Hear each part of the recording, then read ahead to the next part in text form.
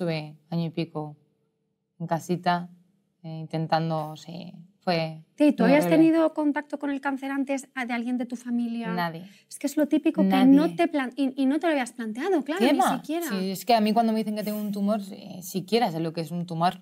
Eh, es que viví en la ignorancia completamente, que también te digo. Menos mal, porque realmente no sabía lo que me exponía.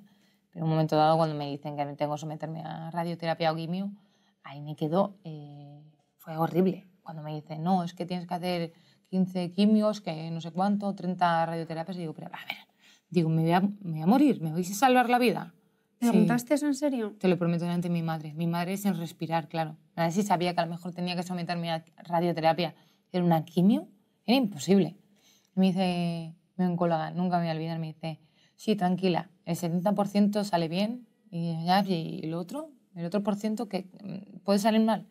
Me dice, tranquila, dice, pero vas a perder esto, esto. Me dice, vas a perder sensibilidad en los pies y las manos, no vas a ser madre eh, y no vas a volver a jugar a fútbol. Y dice, si vuelves a jugar a fútbol, sea en casa, en el pueblo. Y ahí le digo, eh, me da absolutamente igual no volver a jugar a fútbol. Quiero que me salves la vida. Y si me tengo que ir a trabajar eh, a Mallorca con mis padres, me voy a trabajar. Me digo, me da absolutamente igual. Digo, quiero vivir. Así fue. Imaginaos, no, ya no solo para mí, sino para mi madre.